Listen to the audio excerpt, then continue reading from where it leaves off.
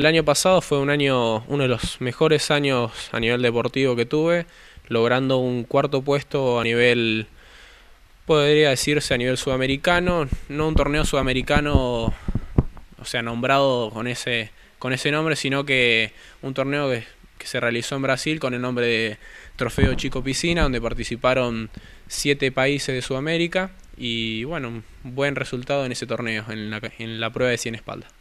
Bueno, a lo largo de, del año hemos podido tener la oportunidad de comunicarnos con vos, charlar de en las distintas competencias en las cuales has participado. Bueno, ¿sabés el número? Ya se, eh, fue tan grande el volumen que, que uno se olvida de la cantidad de torneos en los cuales participaste. Bueno, son metropolitanos, tenés dos metropolitanos de fondo, dos metro, metropolitanos de mm, lo que sería sprint, que son pruebas de 50 metros, después dos metropolitanos de mayores y dos metropolitanos de, de lo que sería de juveniles, que es lo que sería mi categoría.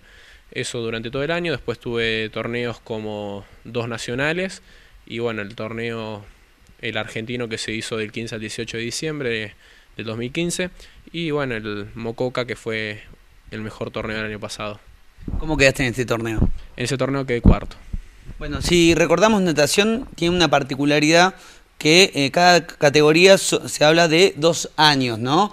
El año pasado estuviste compitiendo con eh, aquellos competidores que nacieron en el 99 y el 2000. Este año ya cambia, estarás compitiendo con eh, chicos más grandes de la generación del 98. Exactamente, bueno, cada dos años vos como que cambias de categoría, sino que este año me toca ser de la categoría más chica, por ende voy a tener que esforzarme el triple para poder lograr buenos resultados y poder clasificar a torneos internacionales. Y bueno, el, lo ideal para este año es no tanto buscar resultados sino a exterior este año, sino que prepararme para el 2017, donde va a ser el sudamericano que creo que se hace o en Venezuela o en Colombia, depende de la situación de cada país.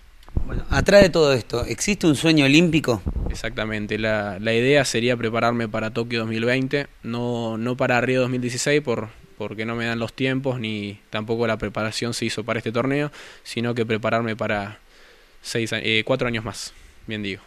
Este es el objetivo, ya lo tenés marcado, todo el esfuerzo, todo el trabajo que se realiza hoy incluso esto de viajar, estar lejos de tu familia, es para esto, para Tokio 2020. Exactamente, espero que se pueda dar y bueno, si no, si no se llega por motivos de universidad, creo que puede tener que parar un tiempito, pero creo que el mayor objetivo ahora, el más cerca, va a ser el sudamericano el 2017.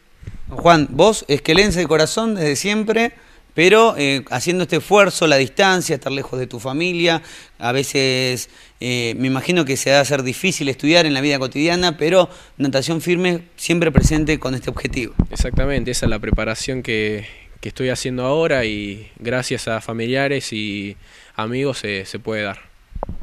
¿Cómo te sentís representando a Esquel? La verdad, muy bien. Eh, no los puedo representar a nivel nacional ni provincial porque allá me exigen tener una federa federación y representar un club de Buenos Aires por estar viviendo allá. Pero siempre que puedo en Araucanía, todos los años firme y representando lo mejor posible a, a Chubut. ¿Agradecimientos?